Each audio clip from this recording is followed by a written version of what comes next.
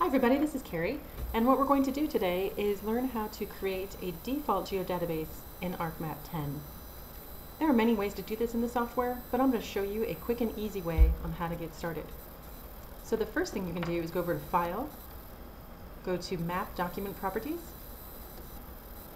and then this dialog box will open up and you can fill it in with many different things. We'll just give this one a simple title called Lab Demo. And for the summary, we can just say create a default geodatabase.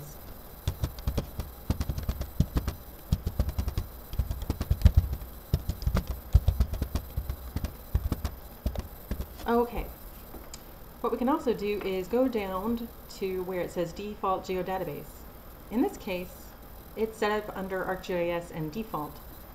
Okay, so we don't want to have our database as the default, we want to give it a proper name and to a place that we can easily find it every time. So if you click on the folder button, okay, what you can do is navigate to a folder that you've already created.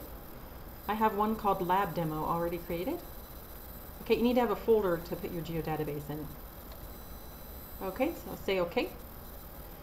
Now we're going to select the New File Geodatabase button. It looks like a steel drum with a little yellow star to the upper right. So we'll select that button and it will give you a default name of New File Geodatabase. We want to give it something a little bit more specific. So we'll just call it Lab Demo. Okay, and make sure you still have that .gdb right there. Okay, we the ultimate goal is to get this lab demo down here by the name. And so to do this, you can just hit enter. And then click on it and say add.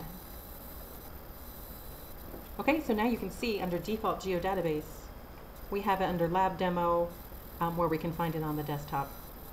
The next thing we want to do also is store relative path names to data sources. If you checkmark this, if you're working off a different drive on a different computer, it will still be able to find the data and your maps.